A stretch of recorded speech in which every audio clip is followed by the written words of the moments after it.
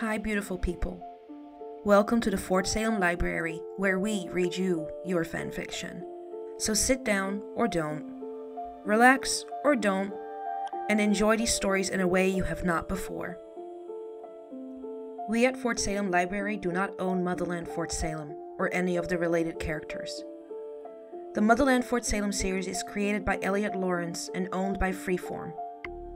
This story is a work of fan fiction and is meant for entertainment only. We are not making any profit from these stories. All rights of the original Motherland Fort Salem story belong to Freeform.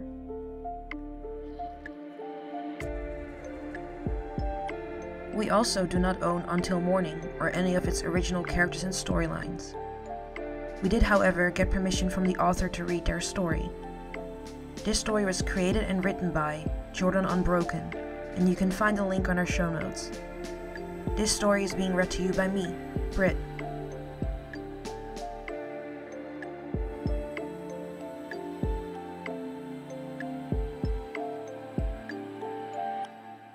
Until Morning, Chapter 16 Closer. Raelle was stock still as Scylla pressed her lips to hers. Raelle's eyes drifted shut. Raelle slid a hand up and caressed Scylla's cheek. The kiss was chaste, saccharine, and over far too quickly. When Raelle opened her eyes, Scylla's were staring right back. Their breaths mingled, and Scylla brushed her nose against Raelle's before leaning back into her chair. Yes, I'd like for this to be a date, Scylla spoke. Good, uh, Raelle cleared her throat. I'm glad. So, what did you make for dessert? Scylla spoke, picking up her fork. The rest of dinner was filled with easy conversation. Raelle's eyes didn't travel from the woman next to her, and from what she saw, Scylla hadn't drifted far from her either. Oh man, so when we were in school, there was this girl I had a major crush on. We'd kissed a few times, and I asked her to a dance one day in front of her friends. She shut me down by yelling to the whole cafeteria that she wasn't gay and how disgusting I was. So then what happened? Scylla asked. Well, of course, Tally stood up and shoved the girl, broke out into a straight up fist fight. Both of them ended up getting suspended. I know Tally looks sweet, but nobody messes with her family. Well, if I were there, I would have punched her too. Scylla put up her small fist and punched the air a few times. I usually don't condone violence, but I think I would love to see that. Raelle gave Scylla a shy smile over the top of her glass before taking a sip. When did you know you were gay? Scylla asked. Pretty much knew forever. My parents honestly never batted an eye. I was sort of a rough and tumble kid, not the stereotype, but I think they always knew. Did. Did you ever come out to your family? No. I had a high school boyfriend while they were alive. It didn't last very long. Then, being in the foster system, I was never in one place too long to really date. I didn't really realize I was bisexual until college. They were always supportive, though. It wouldn't have been a thing. I wish I could have met them, Raelle said. Is that weird to say? It's not. Maybe a little weird to talk about meeting the parents on the first date, though. Okay, so tell me what would be first date appropriate, Raelle laughed. I'd love to have dessert on the couch again, Scylla said. I can do that. Raelle couldn't help the smile that spread across her lips. Raelle took her suit jacket off, followed by the tie, tossing both over a dining chair. She then piled their dirty plates on her lap and took them to the sink. Raelle rolled over to the bottom drawer of her fridge and took a container out of her freezer. It won't top your tiramisu, but I made some ice cream. You don't have to top me. Ice cream sounds perfect. Raelle's brain short circuited for a moment at the mental image of climbing on top of Scylla. Now fervently cursing her legs cast, Raelle rolled over to a kitchen drawer and pulled out two spoons. Is straight from the container okay? No use in making you do more dishes, I suppose. Scylla smiled and took the spoons and ice cream from Raelle, setting them on the coffee table in front of the sofa. Raelle rolled close to her seat and locked the wheelchair's wheels.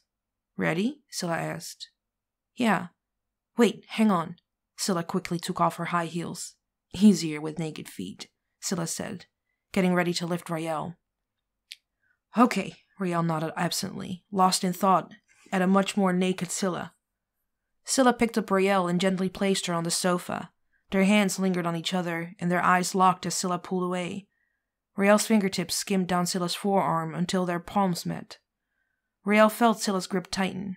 Raelle leaned forward and Scylla closed the space between them. A quick brush of lips. Then Raelle took Scylla's face in her hands and pulled her closer. A small whimper came from the back of Scylla's throat as their open mouths joined. Raelle's tongue tasted Scylla's lipstick. Scylla's hand slipped into Raelle's hair. Raelle pulled Scylla onto her lap. Wait, I don't want to.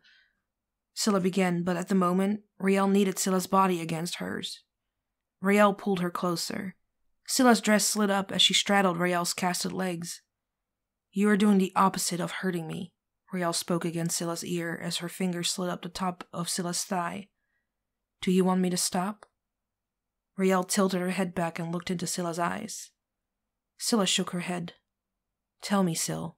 I need to hear it, Raelle said, her hand now on the side of Scylla's face, her thumb resting on Scylla's chin. Touch me, Scylla rasped. Scylla pulled Raelle into a forceful kiss, then broke it to climb off of Raelle's lap. Any momentary confusion or loss was quickly quelled as Scylla brushed the hem of her dress up to her hips and pulled down a pair of black lace underwear. Raelle shuffled back a little as Scylla straddled her once more. You're so beautiful, Raelle whispered. Scylla brought their mouths together once more as Raelle's hand traveled up her inner thigh. You're everything, Scylla whispered back. With Scylla tucked into her side and only a blanket covering them both, the pair lay down on the sofa, the open container of ice cream atop Raelle's lap. This is going to be much easier once the casts are off. Scylla spoke around a mouthful of ice cream. So you're saying we get to do this again? Raelle smirked. I don't do one night stands, Raelle. Me neither. I was. Raelle was cut off by the front door opening. Hey, Ray, how was. Tally began and saw the couple embraced on the couch. Seems like the date's still happening. I'm just gonna go. Yep, gonna go. Have fun. Tally left as quietly as she entered. Raelle and Scylla laughed in embarrassment. Sorry, I forgot Tally was coming home. I wasn't thinking about much else either, Scylla said, running the back of her hand down the center of Raelle's chest. I hate to kill the mood, Raelle winced. But I'm pretty sure Tally isn't going to come back anytime soon. Scylla smiled. And that's a problem? I need to use the bathroom.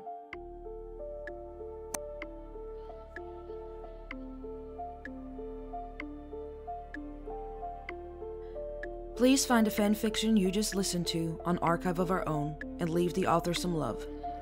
Without them, this wouldn't be possible, and we want to thank them from the bottoms of our hearts for creating these amazing stories and keeping the show alive.